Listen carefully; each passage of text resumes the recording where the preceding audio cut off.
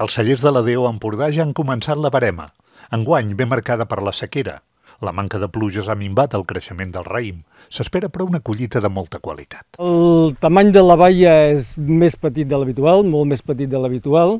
Per tant, vull dir, això significa que, vull dir, que tenim un raïm amb molta concentració tant de polifenols com de sucres com d'àcids i tot això ha de redundar, entenem, amb vins de molta concentració i vins pues, de molt bona qualitat.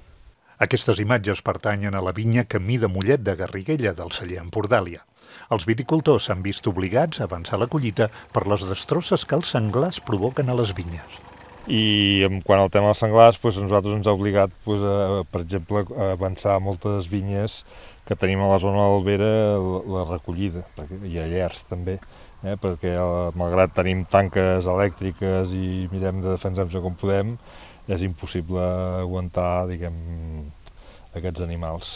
Crec que en aquest aspecte vull dir, fa falta una implicació molt important de l'administració la, de que conjuntament amb, les, amb els viticultors i amb els, amb els caçadors puguem endegar accions que ens portin a tenir aquesta plaga controlada.